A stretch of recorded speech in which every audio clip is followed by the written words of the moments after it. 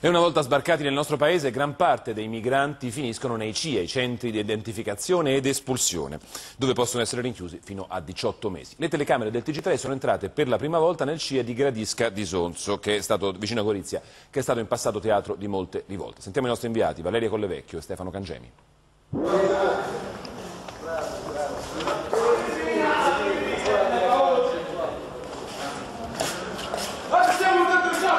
Venite a registrare quello che, quel casino che succede qua.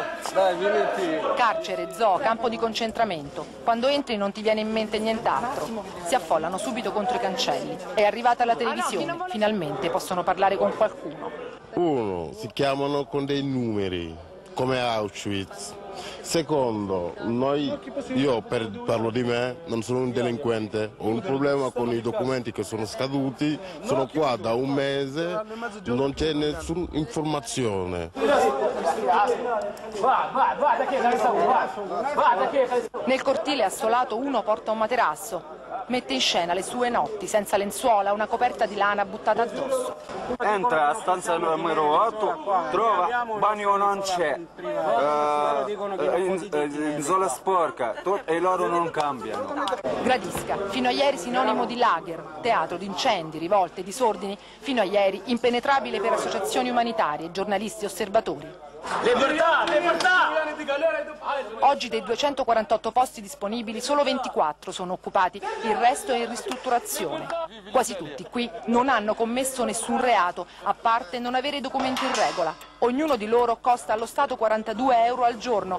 Trascorrono ore, giorni, mesi in attesa di essere identificati ed espulsi.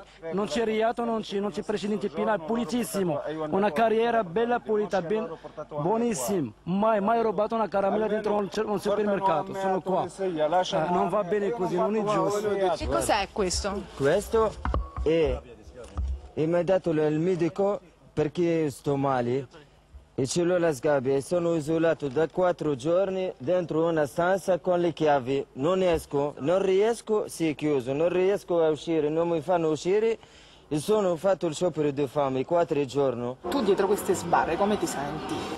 Come un cane, no, anche il cane è meglio, perché il cane se ha un buon padrone sta meglio di noi, E allora come ti senti? come uno schiavo, non come un essere umano purtroppo. E sono fiero di essere un essere umano, fiero di essere senegalese e non vedo il momento di tornare a casa mia invece di vivere così.